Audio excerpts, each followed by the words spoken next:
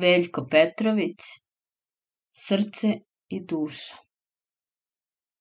Gospođa Otilija, žena inspektora u Ministarstvu unutrašnjih dela, taman se uputila od Vuletića ka Kalemegdanu, kad je sleđe poduhvatio na iznenadni, podmukli, kišonosni vetar.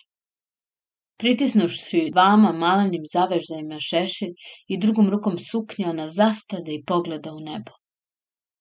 Bolje će biti da se vrati kući. Kiša može do u noć, a ona je pošla u pohode bez kišobrana. Ona je laka srca odlagala te šablonske posete jer je bila predratna, kućevna žena, kako je sama sebe nazivala, tobože pocenjujući sebe, a u stvari hvaleći se. Ona je bila banaćanka, kao što se to može zaključiti već iz imena njenog, iz dobre i stare građanske kuće, iz jake belocrkvanske porodice, majšanskih, toliko jake da je gospođa Otilija, žena jednog našeg čuvenog policajca i stručnjaka za južne krajeve i posle desetogodišnjeg braka, ostala više Otilija Majšanska nego gospođa Životićka. Na nju su malo uticali i Beograd i četiri godine provedene u Nici i Parizu. Ona je sad više ličila po svemu na svoje tetke u Beloj crkvi, no na ikoju svoju svastiku ili poznanicu u prestonici. I po držanju, i po onom naročitom ljubaznom ponašanju, i po ukusu, i načinu kako je najmoderniju toaletu nosila i kako je svoj stan udesila, ona je bila jedna fina, bečka dama. Na njoj nikad smelijih oprečnih boja, nikad neke suvišne individualne linije, bez naglijih pokreta, uzdržana smeha i čuđenja, samo štedljivo napudrana, ona je prolazila Beogradom, vazda nešto odsutna. Iako već žena preko 30 godina, srednjeg rasta i već dosta puna, ona je u smeđim očima i u izrazu usana zadržala onaj polusan pasionatskih pitomica. Bilo bi pretarano reći da je ona odavala tužnu i pomalo otužnu sliku nežne žrtve zalutale u naš suroviji život, ali je bilo u njoj nečega od onih žena koje sebe mnogo vole i cene i zato se pomalo i žale što su se našle među nama. Nije dakle čudo što je ona, još uvek govoreći kod nas, kod kuće, mislila na Majšanski i na Belu crku. Žureći u svoj stan niže pozorište i boreći se s vetrom, gospođa Otilija se još predomišljala da li da ostane kod kuće i da se poslužavci izvini ili da uzme kišobrane i da ipak izvrši dužnost. Ah, te dužnosti! Ali ona će i najprijatnije od njih da savestno ispuni, samo da se ljudi ne bi uvredili. A želela je večeras i u pozorište da ide. Davala se Simona, Brijeova drama. Jer ona je čitala samo tužne romane, išla je redovno na svaku dramu, zbog čega je imala obično žestoke prepirke s mužem koji je voleo lakrdije i baletsko šarenilo. Dosta mi je, brate, tragedije i drama u životu. Kud pogledaš, sve same drame. Ali njoj je tako godilo da se u pozorišnom sumraku od srca isplače. Ja volim kad me stvari ganu. I hlas mi ih gern riren, govorila je ona običnom mužu. No on bi je koji put, izgubiši strpljenje, upućivao u bolnice, što bi nju samo ispunjavalo užasom i prezrenjem prema muškoj brutalnosti. Tek što stade pred ulaz, čekajući jedan trenutak da odahne, a nju obuze pravi strah. Da li se to njoj pričinjava samo? Šta je to? Iznutra je dopirala svirka na klaviru. Ona se osvrte, pa nasloni uho na vrata. Nema sumnje, ona se ne vara, to je njen klavir, još uvek lepi prigušeni ton njenoga Bechsteina. I to nije neko dečije ždroncanje, već jedan nepoznat, ali dobar anšlag. To nije verin udarac, uopšte. Ne može niko da bude od kuće, nema voza. Od njegovih ne ume niko tako da svira. Čekaj, čekaj samo, naravno, Anitrin ples od Griga. Kakva to može biti vizita koja je tražila ključ od klavira i koja je Natalija smela da ga da? Još uvek sumnjajući u sebe, gospođa Otilija pritište dlanom čelo iza koga su vrile najraznovrsnije pretpostavke i najfantastičnije slike. Ili bilo ikada razbojnika koji svirkom čekaju žrtvu ili koji razbojništvo svoje propraćaju grigovim zvucima. Ni kroz onaj okrugli otvor od medi, ni kroz ključaonicu nije se moglo ništa da vidi, ali vrata od salona s klavirom mora da su očkrinuta, a to su prva vrata, odmah do ulaza, pa se jasno čuje, kao da se s mostića gleda u nestašni i čudljivi slab Grigova potoka, koji je prštao, klokotao i vitlao bele i zelene kolute u vodopadnom buku svoje muzike. Gospodja Otilija savladana najzad radoznalošću, upre prstom u zvono. Sviranje stade, a gospođa, ustuknuši dva koraka unazad, prislušno. Trebalo je čekati nekoliko trenutaka dok se salonska vrata ne otvoriše i dok se ne ukaza jedno oko na otkrivenom otvoru. Jeste li vi, Natalija? Ja sam, izvolite. Gospodja kuće još sumnjajući zastade na vratima i utanji glas. Ko je tu? Devojka, držeći jednom rukom bravu, stajaše nepomično i gledaše u zemlju. Niko. Pa, pa ko je to svirao? Služavka još niže opusti glavu, progrca.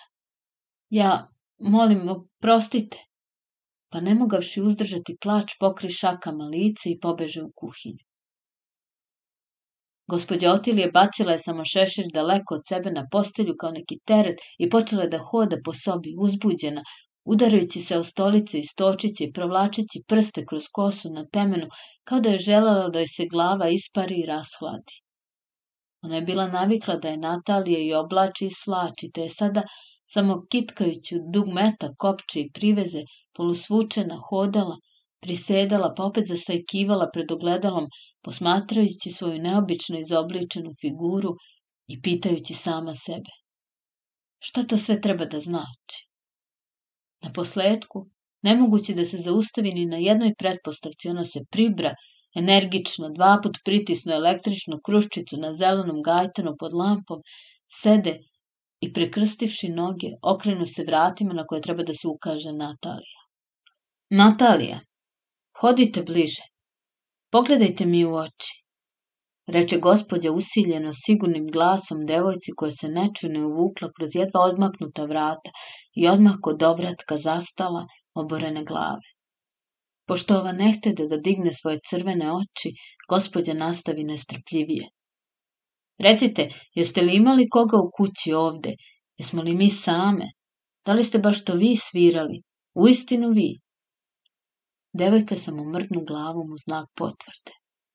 Pa, pa, kako je to moguće? Gde ste vi to učili?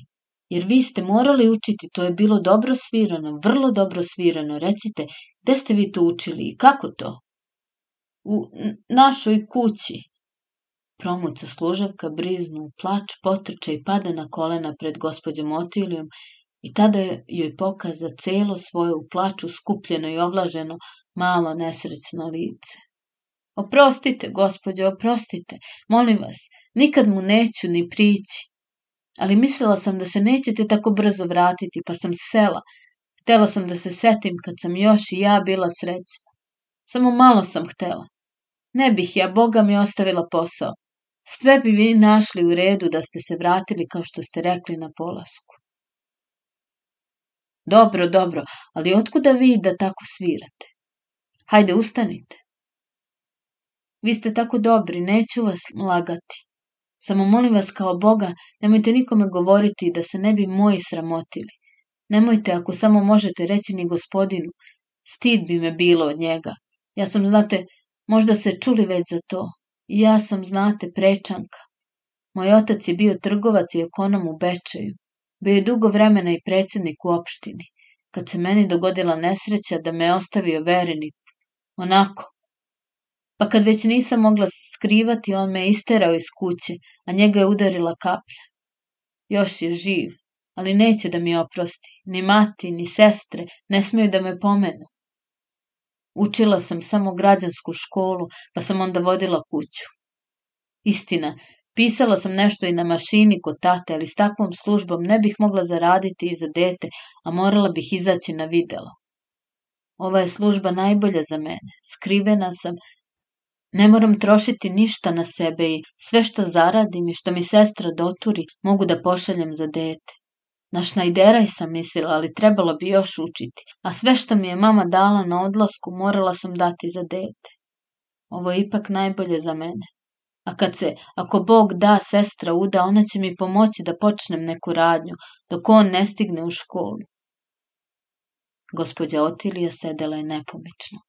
Ona je bila zaprepašćena. Slušala je i gledala Nataliju kao da je do sad nikad nije ni čula ni videla. Ova je stajala pred njom, pregorevši prve mučne časove stida i zabune, s osušenim suzama i zabrinutim očima, i govorila je reči, gotove i sređene odavno u glavi, u kojoj su se njeni planovi već iskristalisali u dugim i dugim neprospavanim noćima. Ona je bila mala, sitna, s velikim malokosim crnim očima, u uskom, finom i tamnom licu, sva graciozna, laka i izdržljiva. Gospođa Otilija se čudila kako to da joj nikada pre nije palo na um da je bolje zagleda. Jer da je samo mislenije obratila pažnju na njenu negovanu crnu kosu, uopšte na njenu spoljašnjost i dvadesetogodišnju mladost i na njen povučeni, za služavku neobično diskretan život, ona bi morala doći do čudnog zaključka. Gospođa Otilija ju je posmatrala, bila je uzbuđena, Čudila se sebi i svoje nepronikljivosti, ali nije se čudila tome što je u ovom trenutku ona zbunjenija od Natalije. Uopšte nije joj palo na um što ona, toliko osetljiva i ganutljiva, nije tronuta sudbinom ove žene, dok bi, pročitavši samo običan report u novinama o takvom slučaju, po svoj prilici zamišljeno uzdisala i korila društveno uređenje. Natalija se poplaši odmah od gospodinog smućenog ćutanja. Gospodje, Bog mi je svedok, ja nisam nevaljala, vi ste me videli za ovo pet meseci. Jel te da vi ne možete imati ništa protiv mog ponašanja, a od sad će vam biti još odanije, kad već znate.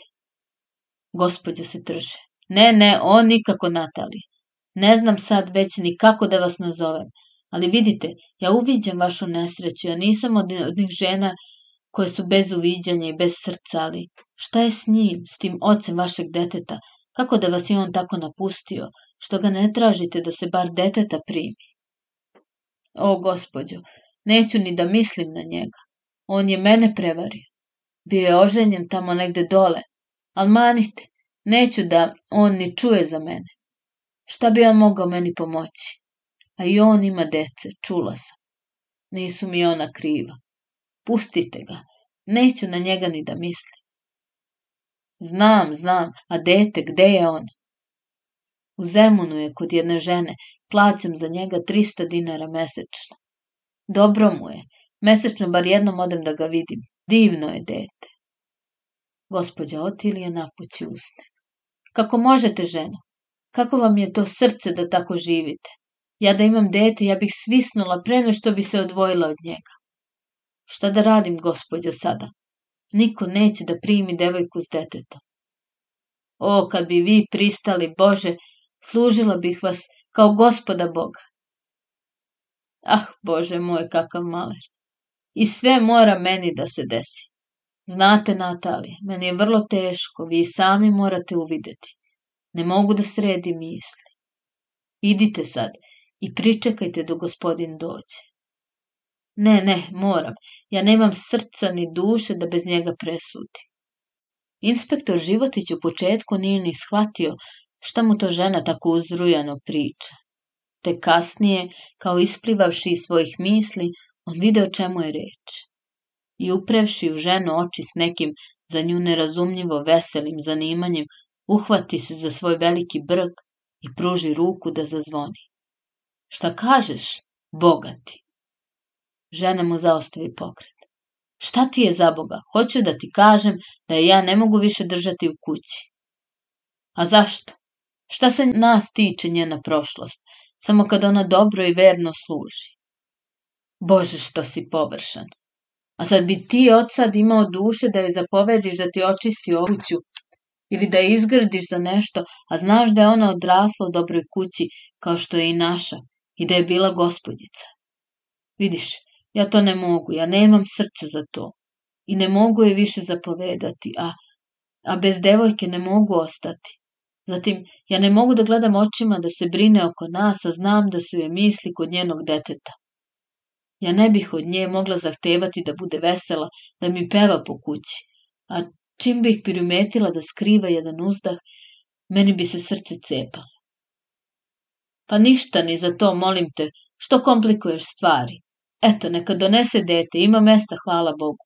A sama veliš da i ona kaže kako bi nas tek onda služila. To je bar prosto. To tek nije prosto, ljupnu se gospođa Otilije. To je prosto samo za takvu jednu četvrtastu policijsku glavu. A šta će biti ako ja to dete zavolim? Tim bolje. Voleću ga i ja. Ti i ljubav. Šta onda? Ja bih imala mogućnosti da se bavim s njime više od nje, a tada mora doći prvo do ljubomore. Ona ga je rodila, a ja bi ga vaspitala. I to bi ga možda vaspitala kao svoje dete, da bude nežno, fino i osetljivo, da time unesrećim i njega i nju i sebe. Već je teško deliti ljubav, a tek rastana kad ono bude odraslo. Ne, ne, ja to sve ne bih mogla izdržati, ja i suviše dobro osjećam. Ne, ne, ne, ja nemam za to duše. Dobro, radi šta znaš, onda bolje da mi nisi ni pričala. Reče odmahnuvši rukom i mrdnuši ramenom životić i ode u svoju sobu a gospođa Otilija izađe u kuhinju i poče drhtavim glasom.